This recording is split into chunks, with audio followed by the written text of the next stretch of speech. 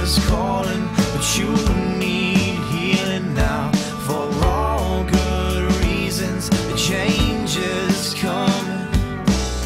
Change is coming.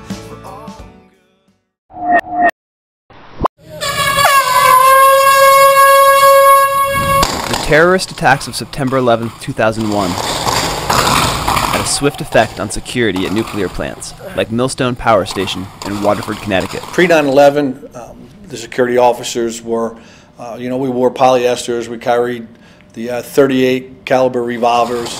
When 9 11 came, everything changed, and we started um, getting into being response team members, uh, carrying the ARs, uh, the, the uh, 9 millimeters. To prepare for more potential threats, regulators began requiring a higher level of training for security officers. Previous to this, we'd uh, take our officers and supervisors, we uh, rent a bus, we collectively go out to like the Wa- Wallingford shooting range and conduct the, the uh, live fire out there.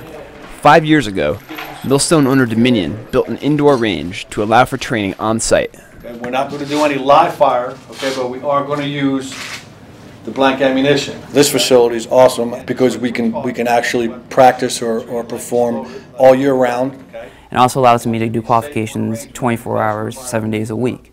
I don't have to have people go on off time or off days. I actually get the training done while they're here, on the shift that they're, they're working. The range can be used for target practice with live ammunition, or, as they were on a recent Monday afternoon, officers can train with modified AR-15 rifles You gotta move! Come on, move, move! Equipped to only fire blanks and outfitted with a laser All right, system to that way, record hits on first. adversaries in the exercises. Yep.